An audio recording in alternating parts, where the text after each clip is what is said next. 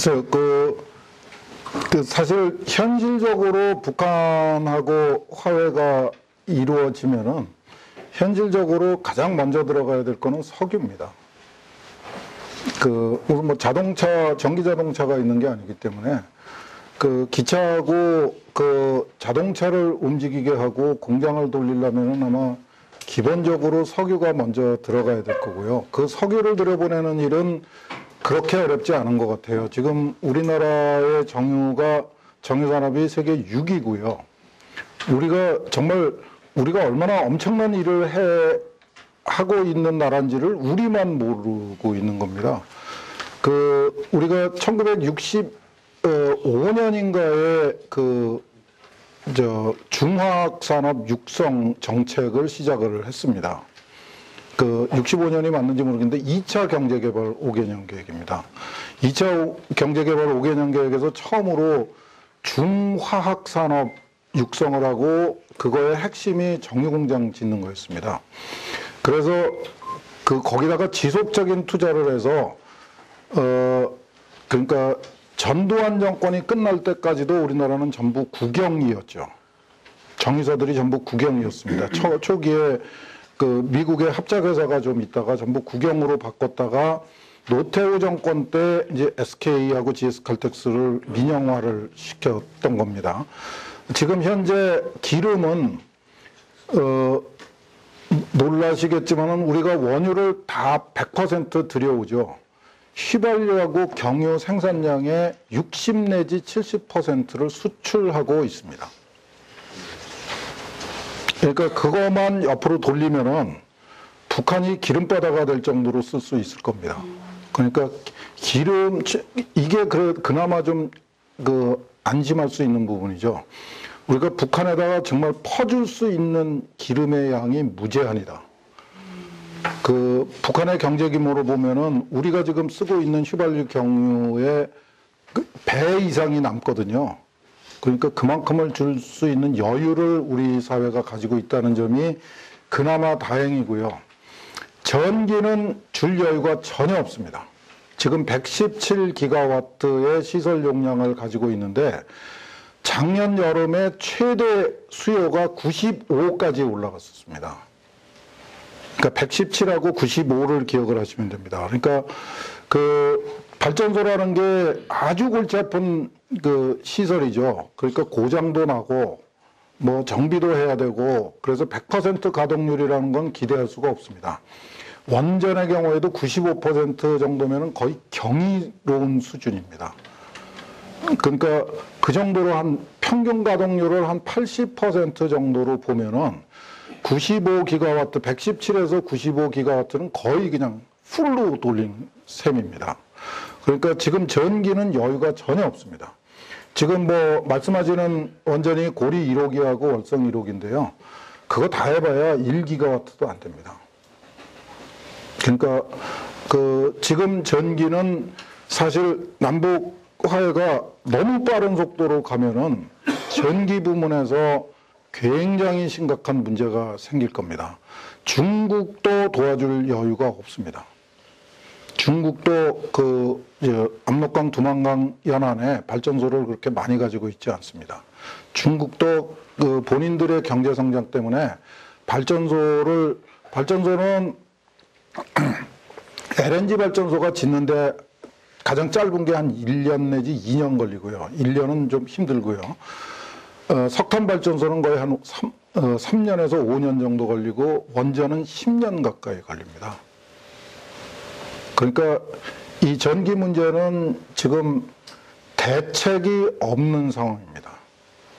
뭐 태양광 뭐 풍력 가지고는 이건 그 장난감이고요. 그러니까 지금 굉장히 심각한 상황입니다. 이 지금 남북 대화만 저렇게 할 게 아니라 사실은 전력 수급에 대한 준비를 했었어야 되는데 그 정부가 전혀 노력한 흔적이 없습니다. 우리 사회도 관심이 없고.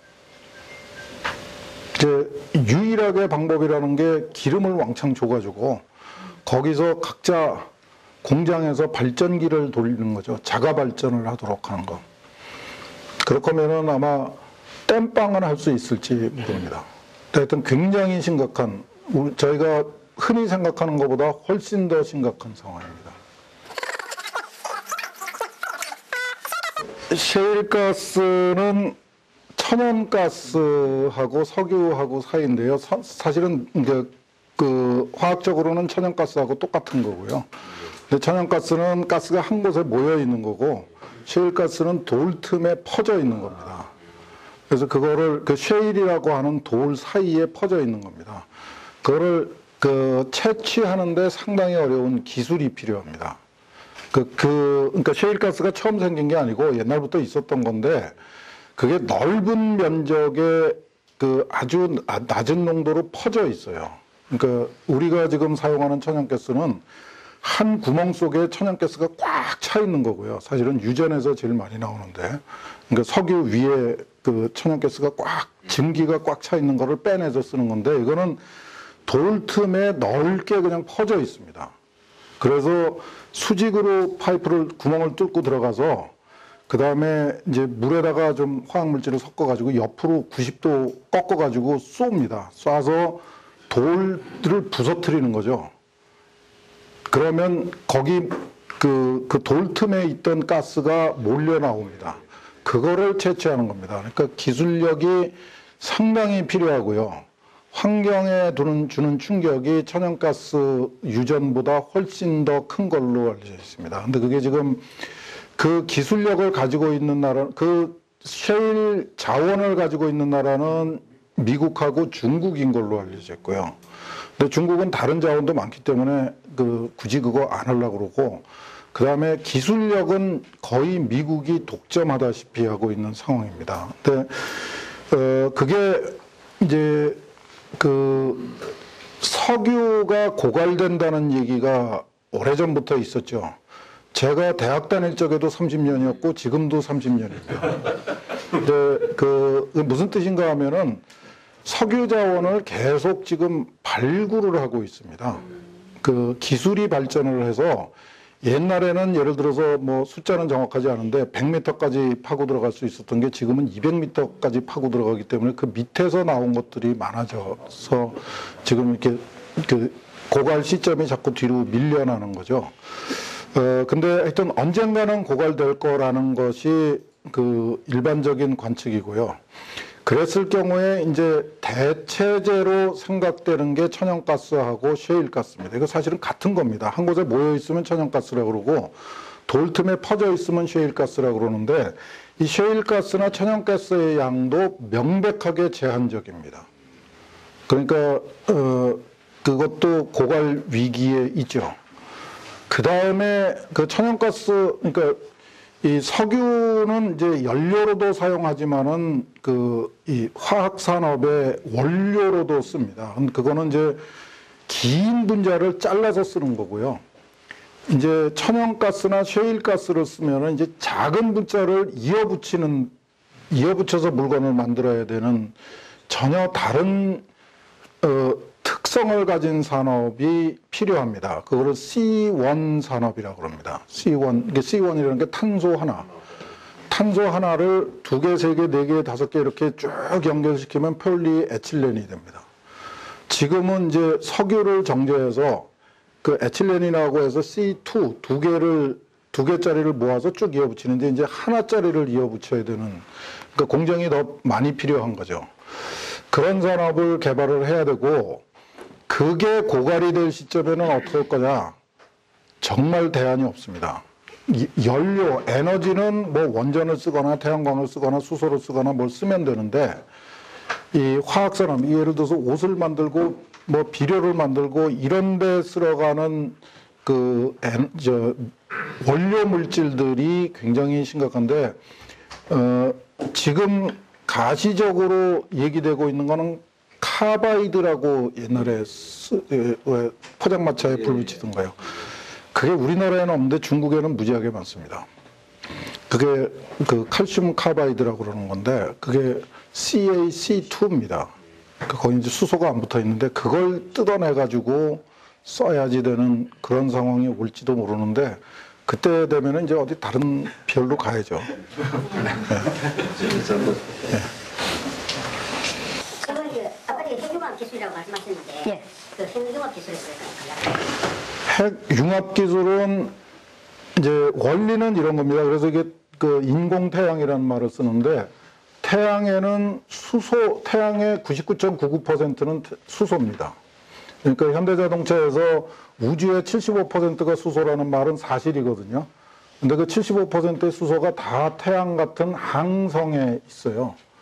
그 우리가 태양에다가 뭐 파이프를 박아갖고 그 가져올 수 있는 방법은 없습니다. 그러니까 그 그게 사실은 현대 현대 자동차가 거짓말을 한 게 아니라 제레미 리프킨이라고 하는 그 미국의 경영학자가 엉터리 얘기를 한 건데 어, 지구상에 있는 수소는 굉장히 적습니다.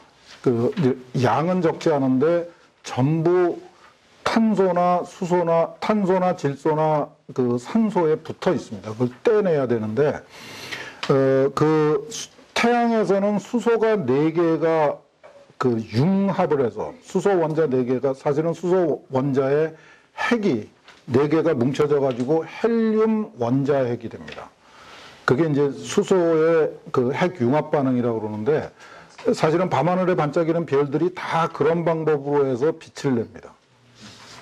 근데 어, 지구에서는 수소를 네 개 이어 붙이는 거는 너무 힘들기 때문에 중수소라고 해서 중수소를 두 개를 붙이거나 아니면 삼중수소에다가 수소를 붙이거나 그렇게 해서 하여튼 두 개를 붙여갖고 힐- 헬륨을 만드는 그 반응을 핵 융합 반응이라고 그러는데 그거를 만드는 장치가 원자로하고 똑같이 생겼는데 그거는 그 토카막이라고 부릅니다. 토카막은 그 러시아 사람 이름인데요. 토카막이라고 부르는데 그걸 미국에서 여태까지 핵 그 토카막을 가지고 핵 융합을 실험은 했습니다. 실험을 하면은 엄청난 양의 에너지가 나오는데 어, 지속적으로 할 수가 없고 한꺼번에 많이 할 수가 없어요.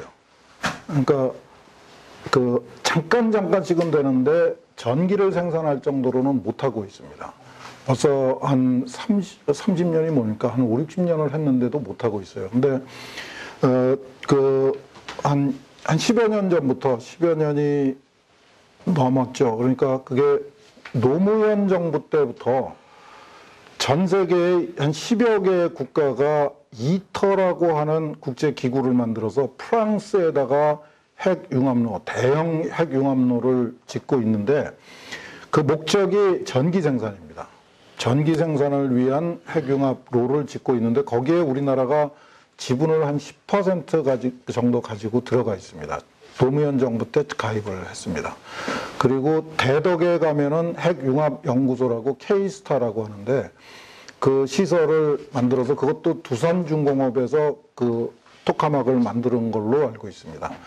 거기서 지금 그 초보적인 실험을 하고 있는데 우리는 전자석 만드는 일에 아주 그 초전도 전자석이라는 걸 만드는 부분을 떼어와서 우리나라에서 실험을 하고 있는 걸로 알고 있는데 거기서 성과가 상당히 좋은 걸로 알고 있습니다. 그래서 어, 지금 제가 알기로는 한 30년, 적어도 30년 정도는 걸릴 거라고 보고 있고요. 그게 가장 이상적인, 그건 온도가 거의 1억 도 가까이 올라가야 됩니다. 그거는 이 핵, 그 원자로에서 생기는 그런 그 방사성 폐기물이 안 나와요. 그냥 수소하고 헬륨밖에 없습니다. 그래서 그, 어, 그거를 성, 성사를 시키면 아마 전 세계의 에너지 문제는 풀린다. 뭐, 이런, 이런 식으로도 얘기를 하는데, 어, 그건 뭐, 그, 정말 미래 얘기죠. 그리고 수소는 잠깐 말씀드리면은 제가 하도 수소에 대한 이야기가 어지러워가지고 제가 그, 제가 굉장히 고민을 하다가 나왔는데 정규제 TV에 가갖고 50분 동안 그렇게 시간을 주는 데가 없어요. 50분 동안 막 얘기를 했더니 그거를 그 굉장히 많은 분들이 보시더라고요. 수소는 비용이 절대로 그 경제성이 없습니다. 그러니까 수소 경제를 가지고 돈을 남겨먹겠다는 발상은 틀린 거고요. 아까 이 대- 발전소를 대형화, 대형화시켜서 지방에다 갖다 놓는 거하고 똑같이 수소를 지방에서 생산해서 서울이나 부산에서 쓰면은 가치, 사회적 가치가 있을 수도 있습니다. 그러니까 서울이나 부산 같은 대도시의 오염 문제가 지나치게 심각해지면은 그럴 경우에는 바깥에서 생산한 수소를 거기 끌고 들어가서 수소를 태워서 거기에 오염을 해결하는 방식으로 수단으로 쓸 수가 있습니다. 그거 말고는 사실은 경제성을 그, 그 상업화 되기가 굉장히 힘들 겁니다. 그거보다는 그냥 전기를 쓰는 게 훨씬 더 나을 수도 있습니다. 그렇죠. 그 우리 사회에서 그이 오염의 대도시의 오염 문제가 굉장히 심각하고 그거를 풀기 위해서 극단적인 선택이라도 필요하다. 그러면 충분히 고려해 볼 가치가 있는 거고요. 그럴 가능성을 지금 배제할 이- 어, 단계는 아닙니다. 서울하고 부산 같은 대도시의 오염 문제가 나날이 심각해질 가능성이 굉장히 큽니다. 그러니까 그런 데 대한 준비지 에너지 원의 새로운 연료로서의 수소는 의미가 없습니다.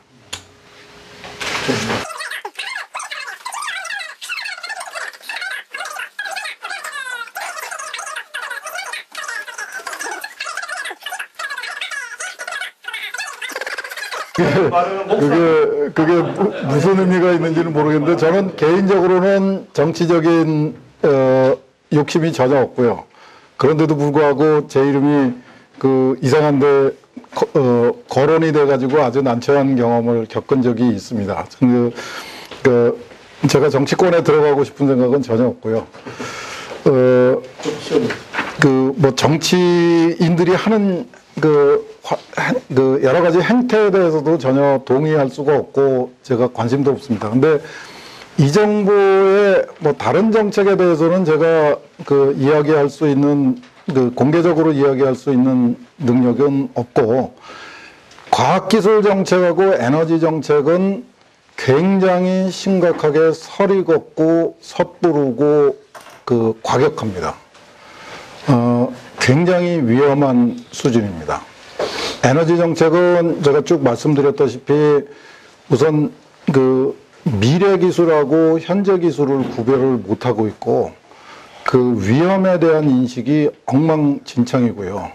위험은 피하는 게 아니고 극복하는 겁니다. 근데 그런 가장 기본적인 인식이 그 없습니다. 그런 면에서 굉장히 심각하고 과학기술 정책, 그 에너지 정책뿐만 아니라 과학기술 정책도 실망스럽기가 그지 없습니다. 그, 어, 이게 아마 그 지금 질문하신 분이 그 전문가들이 문외하라고 얘기하시는 그 이유일 텐데 우리나라의 과학기술은 철저하게 정부에 의해서 커왔습니다. 아까 말씀드린 1958년에 그 원전 1세대를 육성한 거 서부터 시작해서 경제개발 5개년 계획, 뭐 KIST를 만들고 뭐 이런 것들이 전부 정부 주도로 이루어져 와서 우리 그 전문가들이 특히 과학기술 분야의 전문가들이 정부에 의존하는 경향이 굉장히 심각한 거는 사실입니다. 그리고 이제 민주화가 되면서 지난 20여 년 동안 정권 교체가 그 자주 일어나면서 도대체 어떻게 적응을 해야 되는지를 그 파악하지 못하고 있다고 보시는 게 맞을 겁니다. 그, 그, 그런 면에서 굉장히 안타깝죠. 정부도 새 정부가 들어와서 과학기술 정책을 좀 바꾸고 싶은데, 어, 과학자들은, 현장에 있는 과학자들은 수용을 못하고, 그래서 계속 지금 갈등을 반복하고 있는 상황입니다. 그런 상황에서 아마 그, 그 언론에 노출되는 과학자들은 그 중에서도 그 당시에 친여, 그러니까 친정부 쪽인 분들이 주로 많이 나오기 때문에 아마 그런 인식을 가지실 텐데 과학기술계에도 그 문제 인식을 가- 하고 있는 사람들은 많이 있습니다. 근데 목소리를 내기가 굉장히 어려운 좀 현실이 있습니다. 저는 이제 어, 어떻게 하다 보니까 그 연구를 포기하게 됐죠. 그러니까 이제 정부 눈치를 안 보게 되고 그러니까 이제 제멋대로 떠들 수 있는 자유가 생긴 겁니다. 근데 저, 저 과학자들이 전부 저같이 되면은 과학기술 분야가 필요가 없어지죠.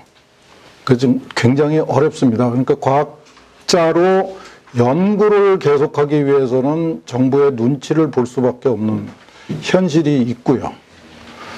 어, 그, 그러니까 정책이, 그러니까 연구 개발 정책이 아까 에너지 정책하고 마찬가지로 탈정치화가 돼야 되는데 그게 안 되고 있는 현실입니다. 그러니까 그 과학자들도 굉장히 어려운 상황이고 정부도 만족스럽지 못하고 그런 상황일 거라고 생각합니다. 그리고 다시 한 번 말씀드리지만 에너지 정책하고 과학기술 정책은 굉장히 위험한 상황입니다.